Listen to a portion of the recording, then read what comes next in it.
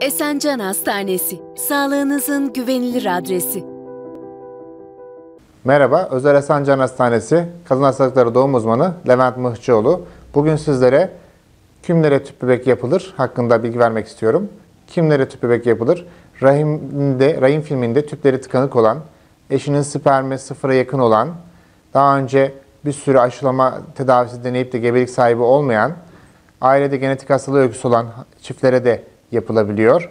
Aynı zamanda e, daha önce 3 kere aşılama yapılmış kişilere tüp bebek tedavisi yapılabiliyor ve bir sürü medikal tedaviye rağmen gebeliği oluşmayan yaşı 40 yaşına yakın bayanlarda tüp bebek tedavisi planlanabilir.